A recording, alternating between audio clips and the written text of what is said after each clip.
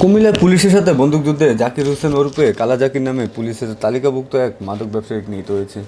গেল রাত দুটার দিকে জেলার সদর উপজেলার পালপাড়া গুমতি নদীর প্রতিরক্ষাবাদ এলাকায় এই ঘটনাটি ঘটে। নিহত মাদক ব্যবসায়ী নগরীর শাসনগাছা এলাকার সুলতান আহমেদের ছেলে। তার বিরুদ্ধে মাদক ডাকাতি ও দ্রুত বিচার আইন সহ বিভিন্ন অপরাধের অন্তত সতেরোটি মামলা রয়েছে। কোতোয়ালি মডেল থানার ওসি মোহাম্মদ আবু সালাম মিয়া জানান, গোপন খবরের ভিত্তিতে তালিকাভুক্ত শীর্ষ মাদক ব্যবসায়ী কালা জাকিরকে আটক করতে রাত দুটার দিকে পুলিশ পালপাড়া গুমতির বাদে অভিযান চালায়। পুলিশের উপস্থিতি টের পেয়ে মাদক ব্যবসায়ী কালা জাকির ও তার সহযোগীরা পুলিশকে লক্ষ্য করে গুলি চালায়। এ সময় পুলিশও আত্মরক্ষার সাথে পাল্টা গুলি করে। এতে মাদক ব্যবসায়ী জাকির গুলিবিদ্ধ হয়ে আহত হয়। তাকে উদ্ধার করে কুমিল্লা মেডিকেল কলেজ হাসপাতালে নেওয়ার পর কর্তব্যরত চিকিৎসক তাকে মৃত ঘোষণা করেন। ঘটনাস্থল থেকে বারোশো পিস ইয়াবা ট্যাবলেট, একটি এলজি ও দুই রাউন্ড গুলি উদ্ধার করা হয়েছে। নিহত মরদেহ ময়নাতদন্তের জন্য কুমিল্লা মেডিকেল হাসপাতাল মর্গে পাঠানো হয়েছে।